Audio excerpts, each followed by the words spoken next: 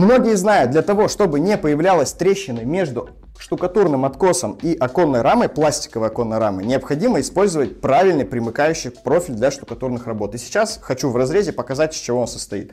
Значит, у нас здесь сетка армирующая, дополнительно армирует слой штукатурки. Есть направляющая, по которой и происходит процесс оштукатуривания. То есть вот этот борт, он является еще и как направляющий, как маячком. Ну и самое главное, это резиновый уплотнитель, который в совокупности с двусторонним скотчем на вспененной основе дает возможность откосу и оконной раме жить своей жизнью. То есть у нас происходит расширение разные, и тем самым вот эти подвижки все на себя забирает оконный примыкающий профиль.